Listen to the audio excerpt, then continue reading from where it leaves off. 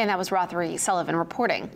We've talked about the impact of the solar on, uh, eclipse on things like the economy, your eyes, and driving safety, but it's also expected to affect the power grid.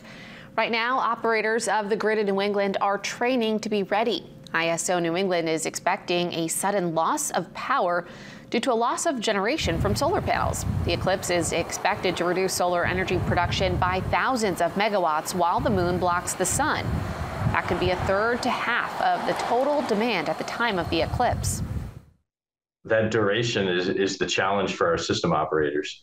Um, the, the rapid rate at which the solar will go away and the rapid rate at which it will, it will return um, is something they need to deal with.